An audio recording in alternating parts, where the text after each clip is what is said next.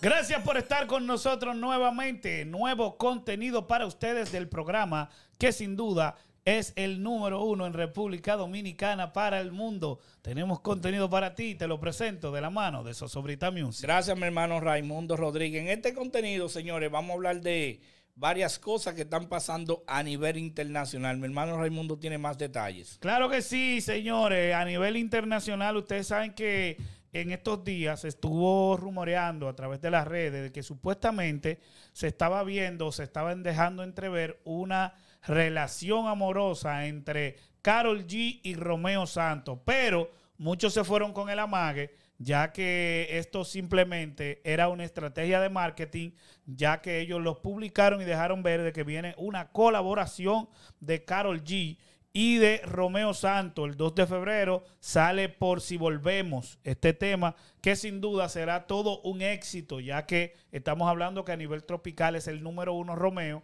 y a nivel de las féminas estamos hablando de que Carol G es la, G es la número uno y a nivel mundial de la habla hispana viene siendo la artista número dos para aquellos que llevan anotaciones. Así que sin duda vamos a ver un palo que ya se estuvo viendo un pequeño preview y eh, la gente está a la espera. Según De Capo, experto en tecnología internacional y en algoritmos de YouTube, dice que si sale por el canal de Romeo, va a ser todo un fracaso. O al menos va, no, va a tener todos los mismos números. No, no, no. ¿Y qué fue lo que tú eh, dijiste? Eh, porque tú estabas hablando. Tú tienes que dejar la mala costumbre, porque eso es maña, que a ti no te corrigen chiquito. De, de tergiversar la cosa de lo demás. Soy un yo, sí. Yo dije que, según mi conocimiento, y mira, estoy en el canal de Romeo, el canal de YouTube de Romeo no prende de una vez. Los temas de Romeo no prenden de una vez en YouTube. Todo, el, todo el tiempo ha sido así, no desde ahora. Entiendes? Mira un ejemplo, mira.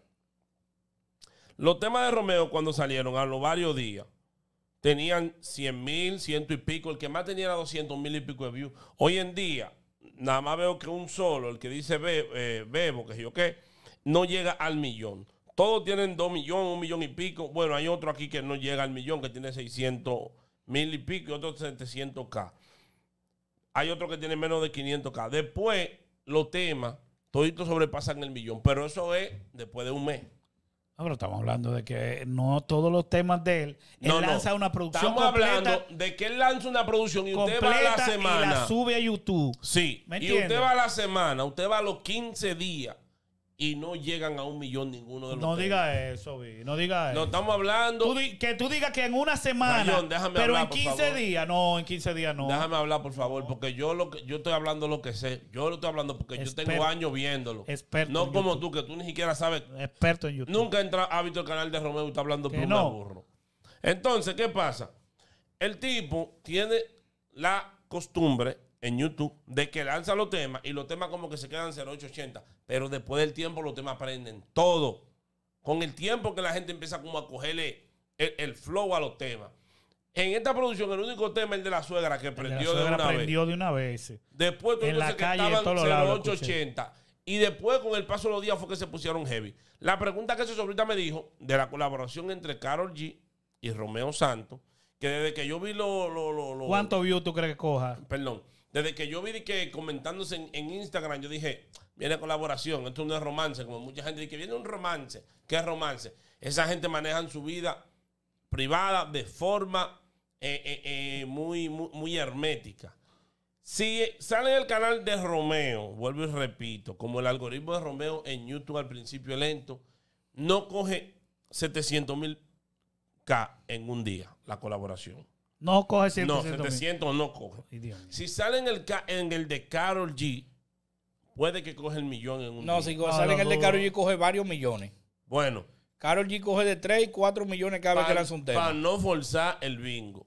Porque tú me preguntaste del millón ahorita, no de más Para no forzar el bingo. En el de Carol G pasa del millón. En el de Romeo no pasa del millón. Porque el algoritmo de Romeo es lento. Ahora, después que prende ahí bobo después de los días. A eso me refiero. Bueno, qué bueno que puntualizaste. ¿Qué mano tiene Rayón en las internacionales? Mira, eh, tú sabes que mucha gente está feliz y contenta en Puerto Rico y en varias personalidades a nivel del mundo. Ya están celebrando la victoria judicial de Rafi Pina. Tú sabes que Rafi Pina, pues eh, en el Tribunal Apelativo Federal determinó que el cargo de arma automática contra Rafi Pina tiene que ser desestimado porque entienden que no hay forma de que él supiera, el productor, que tenía conocimiento de que el arma pues estaba alterada. Por lo tanto, Pina tendrá que ser sentenciado nuevamente, por lo que podría eh, recibir una pena más baja. O sea, eh, mucha gente estaba asegurando de que ya iba a salir libertad ahora mismo, pero estamos hablando de que van a, a variarle la pena y ahí sí. Le van a reducir la le va- condena. Le van a reducir la condena. Prácticamente el caso Lo tomó un nuevo rumbo. Exacto. Sí. Ahora, se Pero- está- ahora la parte defensiva se está agarrando de que Pina, esa arma que está ahí, él no tenía conocimiento, que fuera modificada. Y, y ahora es como, como que él es como medio inocente. Eso es lo que están buscando para que le bajen la pena. Eh, pero pero tú sabes que un ejemplo, ya él tiene X tiempo y si le imponen por ese de desconocimiento del arma, pues eh, ya se le cuenta el tiempo que está Sí, dentro. sí. Si le dijeron, bueno, un ejemplo, ah, no, a usted le toca un año, pues ya él tiene X cantidad de tiempo y ya él puede decir, bueno, pues ya yo cumplí el año y me voy para mi casa. ¿Me entiendes? Mira, yo voy a decir dos cosas. Hay una película que se llama El abogado del diablo. Tú sabes que no es la. Sí. La mayoría de abogados son del diablo, la mayoría. Es lo primero. ¿Y por qué? Y lo segundo, y lo segundo hay un adagio que dice, papeleta mató a menudo. ¿Cómo un abogado me va a decir a mí que él no tenía conocimiento de que esa arma fuera modificada? ¿A quién le ocuparon las armas? Sí, pero de cabo- Ah, Excúsame, ¿a quién se la ocuparon? Posiblemente las armas sean de él. Si usted sabe que eso es suyo, usted lo compró, es ilegal, ¿va? ahí tiene presunción de inocencia, no lo estoy acusando. Pero si determinan que las armas estaban en su posesión y son de él, ¿cómo tú me vas a decir a mí que no, que yo no sabía que eso era modificado?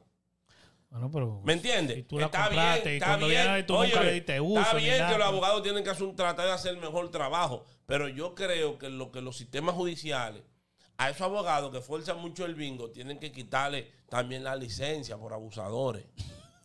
Porque es un abuso. Tú decís a un tribunal, no, porque se le ocuparon a Rafi Pina. Sí, ok, se lo ocuparon. Tiene presunción de inocencia. No he dicho que sean de él. No he dicho que sean de él. Pero si determinamos que son de él, que él la compró ilegal en Puerto Rico, cuando tú te agarran con arma ilegal, tú pagas una multa. Ok. ¿Me entiendes? La primera vez. Es una multa, no te condenan por eso. Según tengo entendido. Pero, no, porque esa AK, esa 45, esa Glow, esa Broly, esa, qué sé yo qué, alma larga, alma corta. Yo no sabía que estaba modificada. Si usted la compró, usted la chequeó. Y si usted la chequeó, usted sabía que estaba modificada. Dejemos eso, que aquí nadie es loco. Mira, una que sí está feliz es Nati Natacha y anunció pues su felicidad a través de las redes sociales. Dice, a los apoyadores le caben cárcel. dice, felici- Eh, felicidad- Una pregunta. dice felicidad y agradecimiento. Yo no te voy a hacer caso a ti, tú no me vas a dañar mi segmento. ¿eh? Felicidad y agradecimiento en nuestros corazones eh, con todo lo que haga apoyado desde el día uno. Pronto tendremos a nuestro muñecote en casa, Rafi Pina. Bueno, Me, me acordé de, de- de un verso de Cromo. mm, Tú quieres un policía para que te chancee y otro para que implante el orden. A mí me gusta ver gente cuando piden justicia. Justicia, justicia. La justicia es para todo. mm. No nada más para lo que yo no quiero. Y para lo que yo quiero, no. Bueno, muy fuerte, señores. Bueno. muy fuerte. ¿Qué Si mano tiene? Sí, si diga, es culpable, si es culpable, si las armas son de él, la tenía él, si es culpable, 20 años de prisión y ya pasa. Él la tenía en su casa, las armas. Bueno, pues de- bueno, vamos a decir que no sean de él, puede ser de otra persona que, que- que- que pueda vivir en la casa. O, o un trabajador que la guardó en la casa, porque tiene presunción de inocencia. Sí. Pero si son de él y demuestran que son de él y que él la compró, él no sabía que estaba modificada. Cuando vino a ver, fue él el que la compró que dijo, modifíquenmela así, así. Lígenmela ahí para que no se vean los números. Hay muchas cosas que no la vamos a hablar. Ey, espérate, así no. Debimos, Bueno, ¿qué mano tiene la internacional que de campo está debimos, picante? debimos terminarlo ahí, porque yo no sabía que Tigres iba a poner tan picante. Mira, es que eh, otra vez Almighty pues... eh, ¿Qué está pasando con el siervo? Otra vez lo, lo tuvieron que ingresar y eso, está difícil la vuelta. Mira, el exponente urbano Rafael Mosqueda Paz, mejor conocido como Almighty, Sí. fue ingresado a una institución psiquiátrica luego de que se publicara un video en las redes sociales donde aparece diciendo incoherencia y armando eh, armado con un revólver. Ya tú sabes, yo no sé cómo un muchacho que está así, pues Está el- desacatado el siervo. el papá estuvo dando declaraciones ante un programa ya eh, de la guapa allá en, en- Ujú. y dijo que pues él le comenzaron a, o va a comenzar a recibir tratamiento en el hogar. Esto es en Kissimmee, allá en Florida. La cosa se pone un poco difícil, ya que Mosqueda indicó, el padre, pues que no sabe lo que ocurrió con su hijo, que hace poco fue visto en un video en las redes sociales con un comportamiento errático y en la mano llevaba un revólver de fuego. Ay, Dios mío. El padre del exponente urbano indicó que no cree que su hijo estuviera utilizando sustancia controlada. Bueno, O sea, que eso lo hizo por el, por el estado que él está actualmente. sí, porque no él aparte, estuviera- aparte de que para ir conectado, él tiene problemas Eso psicológicos. es como esquizofrenia. Lo que Sí. Sí. Mira, da, da pena, y da pena que el dinero es más importante que las personas. Digo esto porque la condición de ese muchacho no es para estar trabajando con música. Ese muchacho hay que alejarlo de los medios y de la música. Digo esto porque él es un súper talento, escribiendo Muy y cantando, talentoso, muy, muy tal- talentoso. Muy talentoso. Pero el dinero, la fama, los medios, cuando hablo de los medios, hablo a el entorno musical en Sí, sí. sí, sí. Es muy corrupto. Y él, en lo personal, debería estar lejos de todo eso. Porque por más que, que él ha querido, él siempre vuelve y recae. Sí. Vuelve y recae. Se sale, se mete el evangelio, vuelve y recae. Entonces, lo vemos, vamos a decir, no jugando con la palabra, porque él tiene una enfermedad. Sí, hay sí, que entenderlo. Hay que entenderlo en esa Él parte. tiene una enfermedad, entonces lo vemos como confundido, como que estoy con Dios y estoy con el otro también. ¿Tú me entiendes? Sí. Entonces digo que da pena que, que el dinero es muy importante que la persona, porque él tiene un equipo de trabajo que saben su condición y en vez de decir, no, no, fulano no, no puede trabajar, a la familia, miren, agárrenlo ahí, aléjenlo de todo, quítenle el celular, denle su tratamiento, aléjenlo de, de- de esta vida tan tóxica. No, prefieren tenerlo ahí porque factura.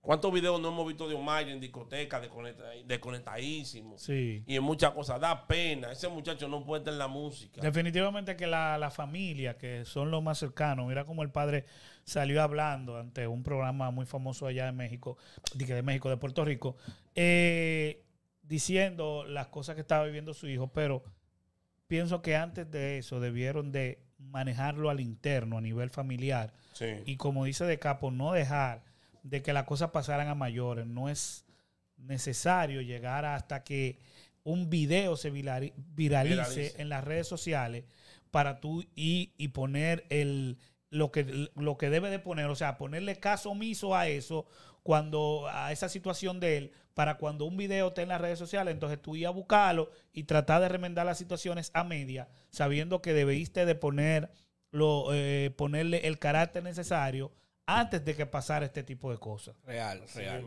Bueno, de mi parte es que pronta recuperación para Omairi, que el equipo de trabajo y la familia deje ese muchacho hasta que esté totalmente recuperado, que no joda con música durante mucho tiempo. Claro real. ¿Algo más que aportar, muchachos? Vamos a dejarlo ahí, las Bien. internacionales. Bueno, usted que está viendo este video, déjeme saber su opinión sobre las noticias internacionales. Eh, lo de Rafi Pina, lo de Omairi y la colaboración de Romeo y, Carol G. Déjamelo saber aquí debajo en la caja de los comentarios. Recuerda suscribirte y activar la campanita de notificaciones. Y recuerda que papá Dios te me bendiga en grande.